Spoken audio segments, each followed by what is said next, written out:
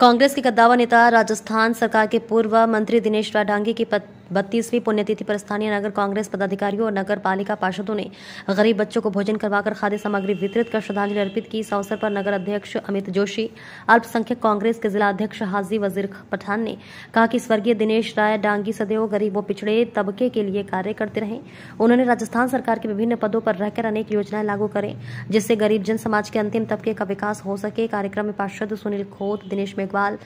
सलमान पठान ने कहा कि स्वर्गीय दिनेश राय डांगे उस शख्सियत का नाम है जिसने राजस्थान के इतिहास में जो इतिहास बनाया था वह आज तक निर्विरोध कायम है।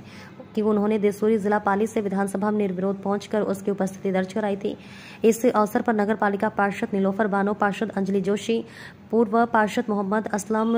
लहरीबाई चंपा मीणा ने भी अपनी ओर से श्रद्धांजलि अर्पित करते हुए स्वर्गीय दिनेश राय डांगी को जन जन का सच्चा नेता बताते हुए कहा कि ऐसे नेताओं की कमी के कारण ही आज जनतंत्र और लोकतंत्र पिछड़ चुका है। अवसर पर सैनी समाज के अध्यक्ष के अध्यक्ष,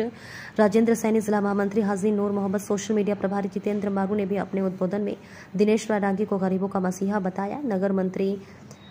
गजेंद्र काग, जिला कांग्रेस अल्पसंख्यक प्रकोष्ठ के जिला अध्यक्ष हाजी वज़ीर पठान, व्यापार मंडल के जिला अध्यक्ष हरीश अग्रवाल, प्रदेश कांग्रेस महिला महासचिव advocate Archana Sharma N S U Y के सचिव जयदीप सैनी, हरिओम शर्मा, दिलीप शर्मा, राजेंद्र सैनी, अखिल जोशी, नितिन रावत सहित दर्जनों कांग्रेस जन उपस्थित